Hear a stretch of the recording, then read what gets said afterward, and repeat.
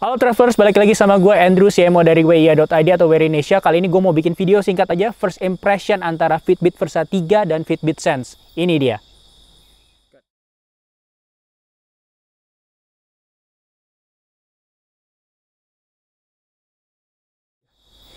Nah, langsung aja cepet nih. Yang bedanya itu hampir nggak ada secara fisik. Keduanya ini benar-benar uh, rectangular, segi empat ya, mirip-mirip kayak Apple Watch gitu lah ya. Dan strapnya juga ini dari karet keduanya. Dia juga tidak memiliki versi special edition seperti saudara sebelumnya itu si Fitbit Versa 2 yang memiliki special edition.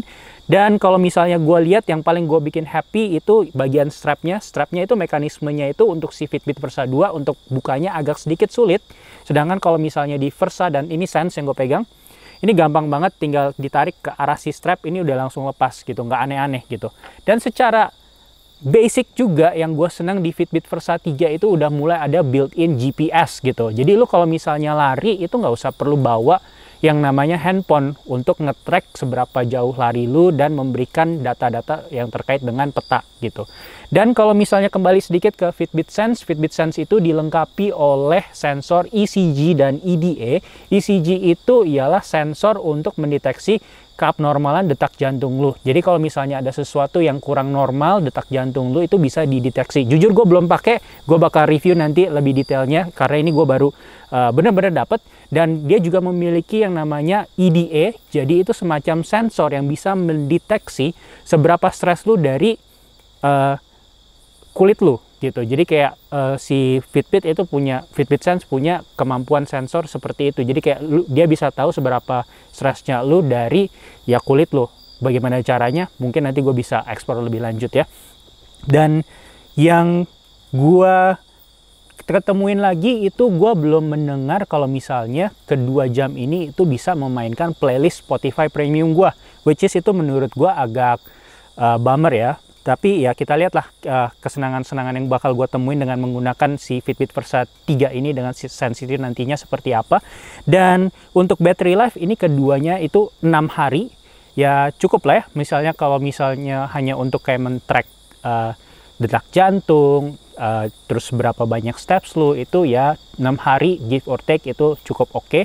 Dan untuk uh, pengembangannya lagi itu katanya mereka heart rate uh, heart rate sensornya itu mereka kembangkan agar lebih baik lagi, lebih presisi lagi dan mic dan speaker juga menjadi lebih baik. Jadi kalau misalnya mau mereply message dari smartphone lu itu bisa se segampang apa? Gue belum tahu karena beneran ini gue baru pegang.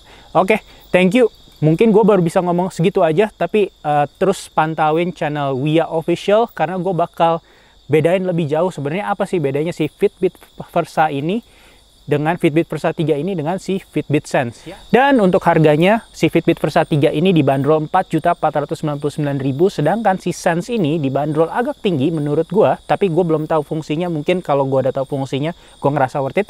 Ini 5.899.000 gitu. Jadi ada perbedaan gap yang cukup jauh.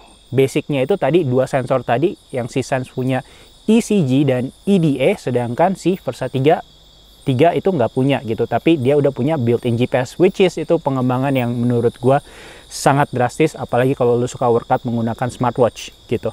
Oke jadi baru begitu aja first impression gue kalau misalnya lu pengen tahu lebih jauh atau mau kasih masukan bagaimana gue mesti mereviewnya detail apa yang pengen lu tahu jangan lupa tulis di kolom komen karena gue bakal abis ini langsung gue take gue coba mainin semuanya.